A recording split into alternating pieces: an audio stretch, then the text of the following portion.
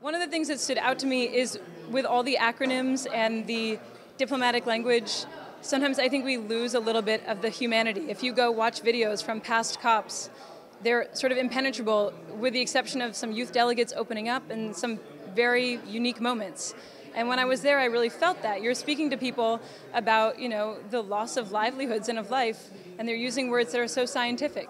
And I think we need events along the side. We need all the art activism happening around Paris. We need people speaking from very different fields um, about how this is affecting humanity in, in words that everybody can understand.